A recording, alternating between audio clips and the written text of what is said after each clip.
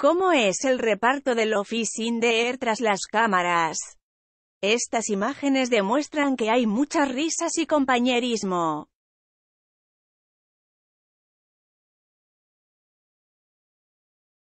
El reparto de la telenovela turca tiene muy buena relación y así lo demuestran las publicaciones de sus redes sociales.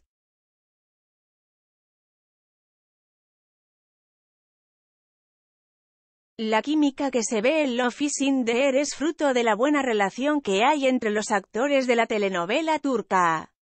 Y no hablamos únicamente de Hande Erçel y Kerem Bursin. Es algo en lo que todos los miembros del reparto coinciden, han encajado a la perfección, lo que les ha permitido construir una gran familia. Solo así pueden soportar las largas jornadas de grabación que llevan a cabo para mantener el ritmo de las emisiones. Para demostrar las buenas migas que han hecho, recopilamos las mejores imágenes que han compartido en Instagram.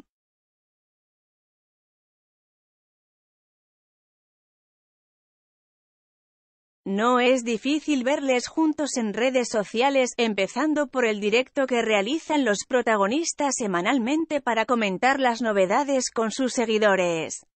Aunque Ersel y Bursin son los que siempre están al pie del cañón, es muy habitual verles junto a sus compañeros como el Sinafakanon Slihan Yeldan, que siempre se pasan a saludar a los fans.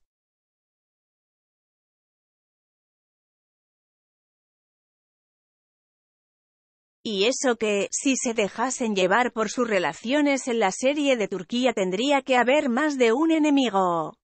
A lo largo de estos 40 episodios han pasado por todo tipo de situaciones y muchas enemistades.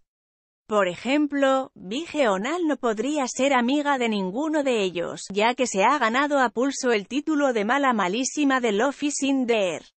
En cambio tiene muy buena relación, especialmente con Hande Ersel.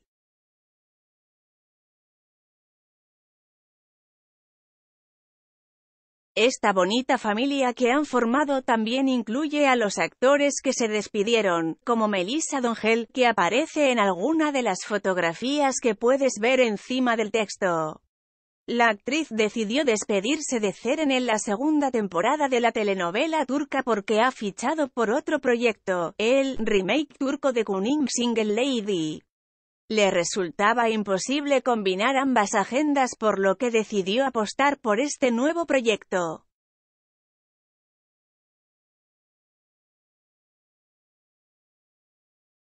Y no la culpamos. Al fin y al cabo, lo de era arrancado ya la recta final para despedirse de su público.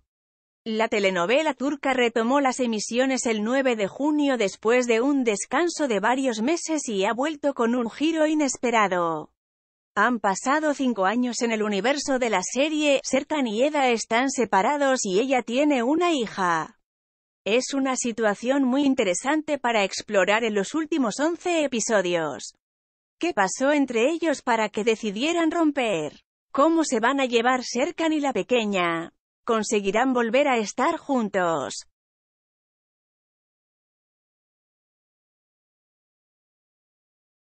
En España todavía no estamos en ese punto. Los fans españoles aún están disfrutando de la primera temporada y no será hasta el mes de agosto si la emisión se mantiene al mismo ritmo cuando alcancemos el salto temporal. Mientras tanto, recuerda que hay un episodio nuevo cada martes a las 11 de la noche en Telecinco y de lunes a viernes a las 18,30 h en Divinity. También puedes ver Love is in the Air vía streaming en mi tele.